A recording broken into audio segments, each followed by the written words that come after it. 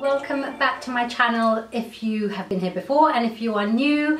Welcome I'm Ambarina I have a blog called Beauty Passionista. Today's video I've been doing the no heat hair challenge that was set up by KGMTL she's also a YouTuber and an Instagrammer. And she set up this challenge to not use any heat on your hair for I think it was four weeks I've come to the end of my no heat hair challenge. Today marks five weeks with no heat in my hair whatsoever. And although I've been talking about it non-stop on Instagram, so if you don't follow me on Instagram, head over to my Instagram, I'll link it somewhere here and then you can uh, follow me and stay up to date there. But I realized that I hadn't talked about it here on YouTube. So I thought, seeing as I'm at the end of the five weeks, I've just washed my hair, so you can see it actually is a little bit wet. I'm, I would say I've just stepped out of the shower, but obviously not, I've put makeup on. And I think that today I might, seeing as I've done five weeks without any heat, I thought I might actually style my hair today. So I wanted to film this video before I do that and just give you guys like an update on why I did it, what I hope to gain from it, and would I do it again? And obviously also the products that I've used in my hair. Just because there's no heat doesn't mean I haven't used products. Just to keep the frizz at bay because I do have frizz and the main reason that I blow dry my hair is because I need to get rid of the frizz. Yeah, that's basically what today's video is. If you want to hear more about my no heat hair challenge, then keep watching.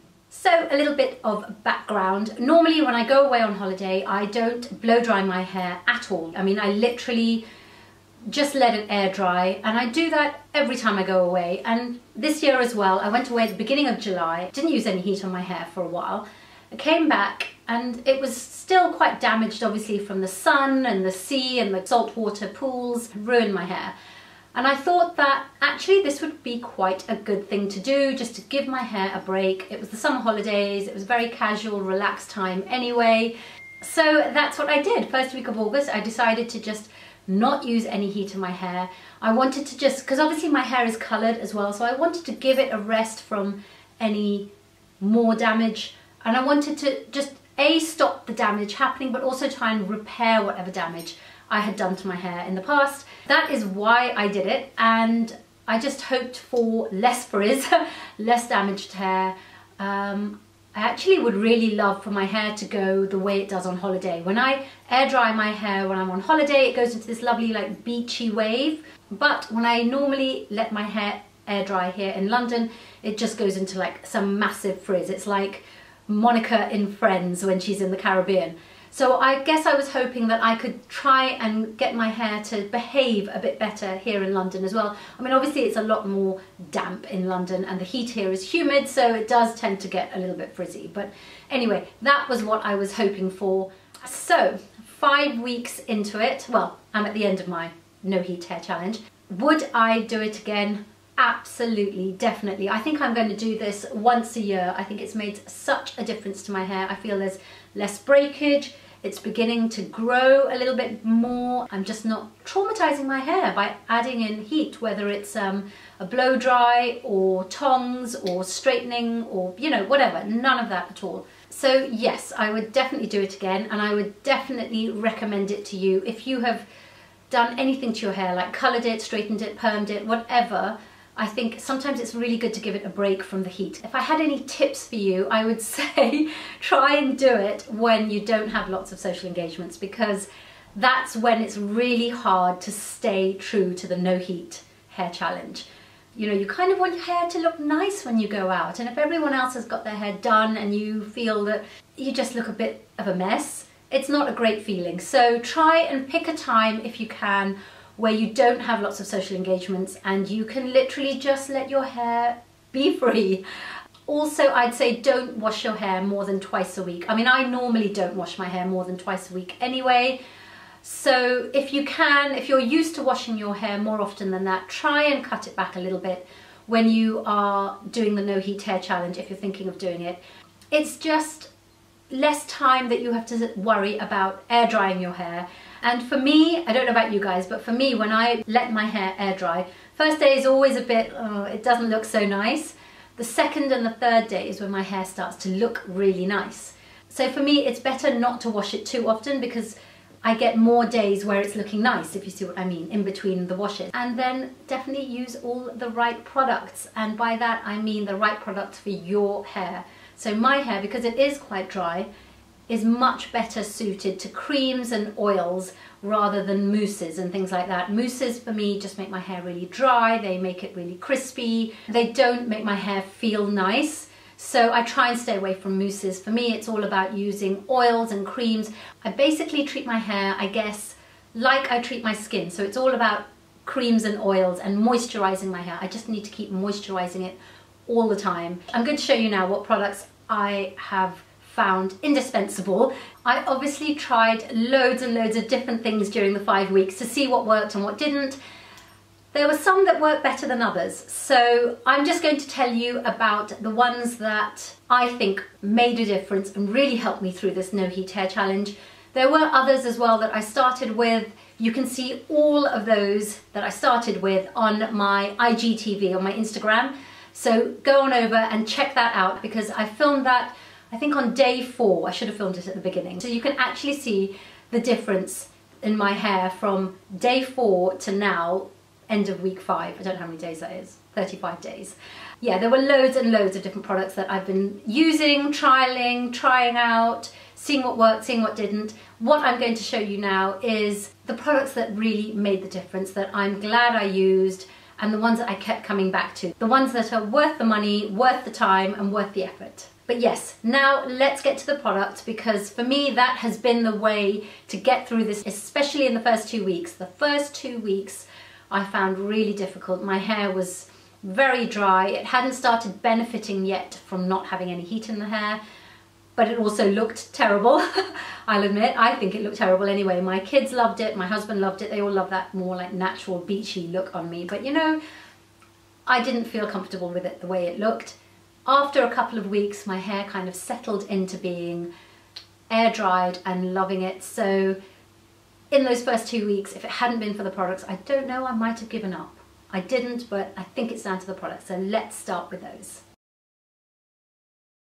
So for me, one of the key reasons that I wanted to do the No Heat Hair Challenge was because I wanted to undo the damage. And for me, that's all about using a mask and this is the one that I turn to time and time and time again. You guys know this. This is the Philip Kingsley elasticizer. It doesn't just come in this one litre bottle. It comes in all different sizes. But for me, this is the way to go because I use this so much. I always use this when I come back from holiday.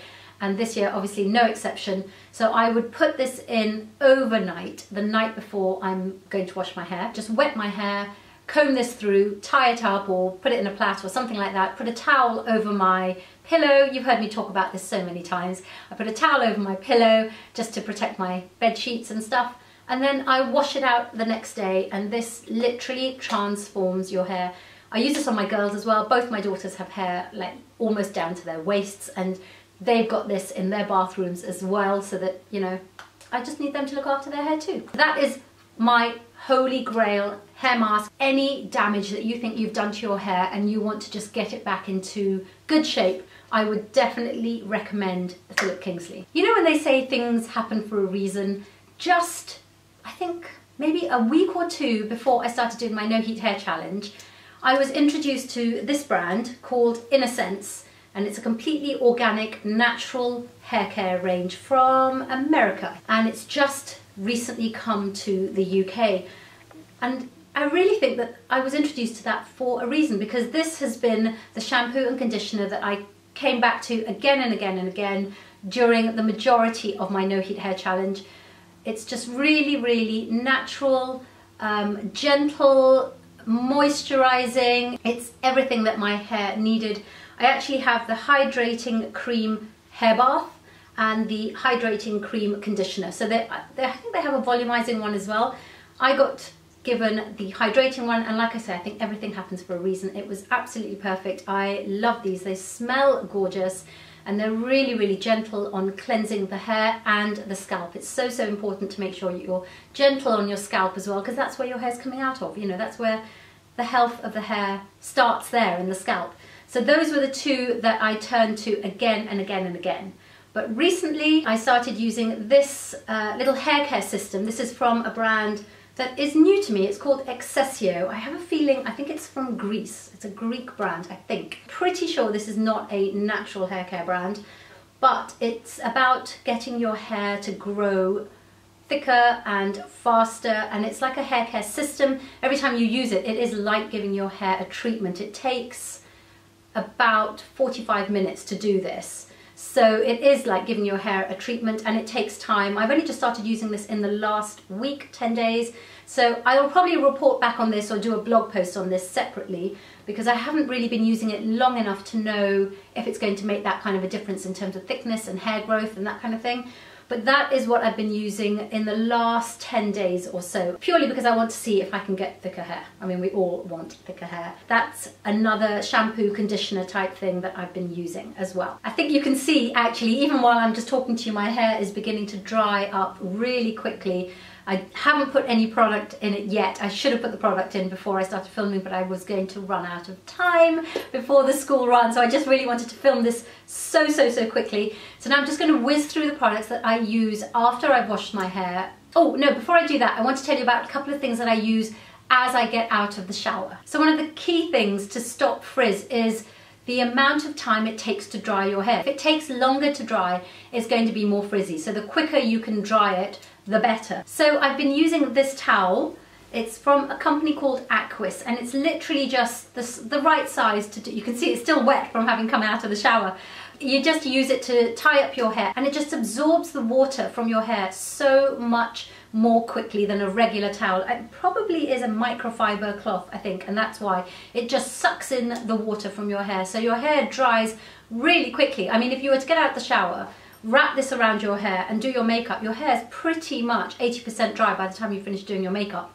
Obviously depending on how long you take to do your makeup, but you know what I mean. So I've been using this every time I wash my hair. I just wrap it up in this and it just dries so much quicker. And the other thing I could not have lived without during this no heat hair challenge is this little brush. It looks very, very unassuming, but I swear to you, it is incredible. It's from a company called Manta Hair and it is a bit like a Tangle Teezer but so much better. For me anyway because it has this handle which means when I'm brushing my hair it doesn't just fly out of my hands. You know, a Tangle Teezer just, I always end up, it just keeps flying out of my hands.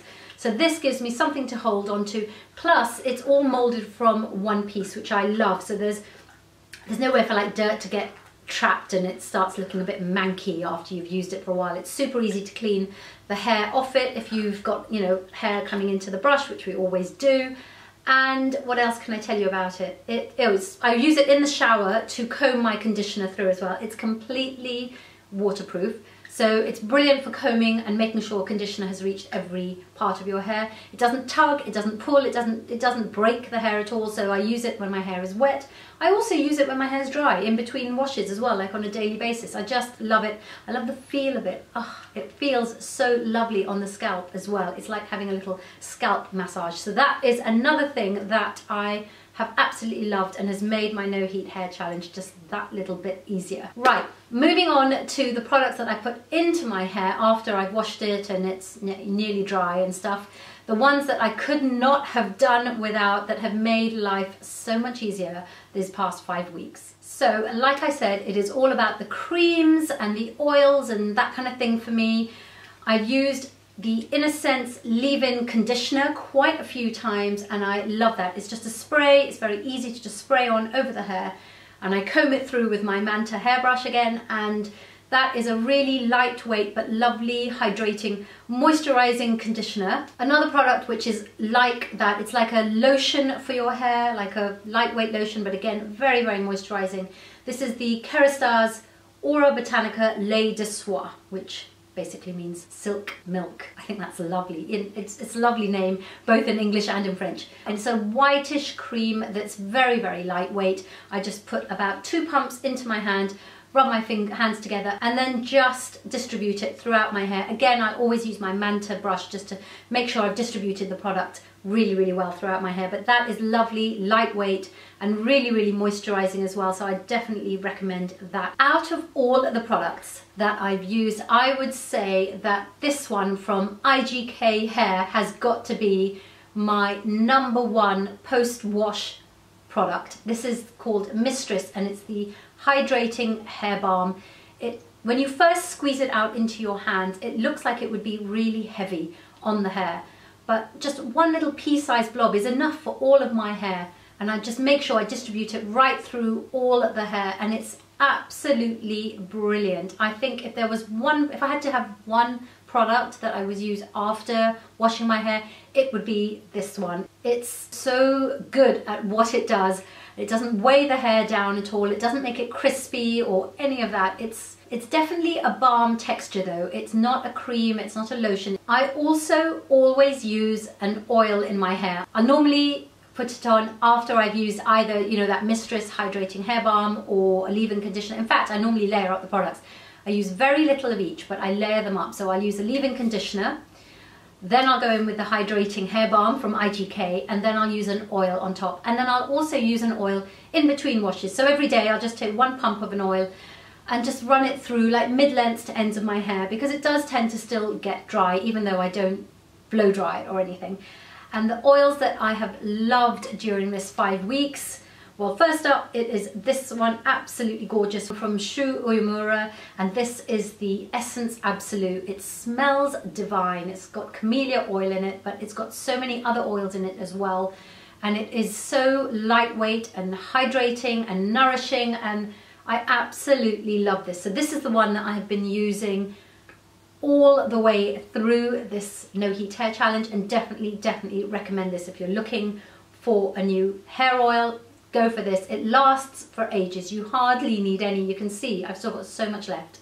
Brilliant. It's an expensive one but it is so worth the money. One that won't surprise you at all that I love because this is probably my fifth bottle of it I think over the years this is from Show Beauty I love this. I mean, I love the packaging anyway. I'm down to about there on this one. This is number bottle number five, and I swear to you I'll buy another one because I cannot live without this. It's absolutely gorgeous. You can put this even into the roots of your hair and it won't make your hair greasy and it won't weigh your roots down. It's very, very lightweight. It smells divine. It smells like all the other Show Beauty products. This is quite expensive for a hair oil, but again, I think it's really worth the money. I love how it makes my hair look and feel. And last up, one that I had totally forgotten about. I've had this for ages, but during these five weeks, I've been raiding my cupboards to see what other things I have that I should use or try again, or whatever.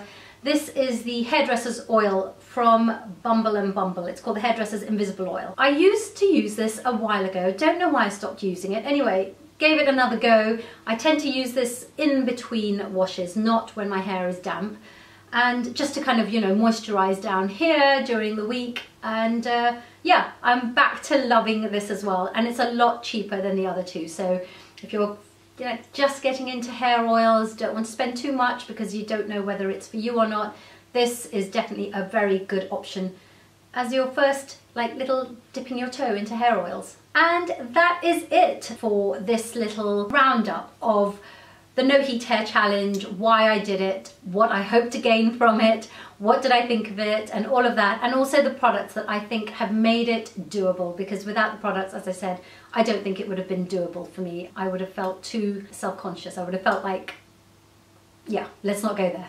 So I hope that this was useful to you, especially if you are thinking of trying out the No Heat Hair Challenge. I mean, I'd really recommend it with the party season coming up soon, where the hair would probably take a bigger hit in terms of products and styling and stuff like that. So if you can fit it in, even for a couple of weeks, I think it's definitely worth doing. I hope I've answered any questions that you might have about it, but if I haven't, then please leave me your questions in the comments box below. Let me know what you thought of this video. Even if you're not going to do the no heat hair challenge, I would love to hear from you. And if you did like this video, if you understood anything, because I know I've spoken really, really fast, but if you did like this video, then please do give it a thumbs up down there as well. And if you're not subscribed, then obviously hit that subscribe button for more videos from me. I need to go and put something in my hair now because yeah, I haven't put any product in. You can see it's basically air dried while I'm talking to you. And I have to tell you, five weeks ago, this would have been out here. This is the difference that no heat can make. So I definitely recommend it. Thank you so much for watching and I will see you guys in my next video. Bye.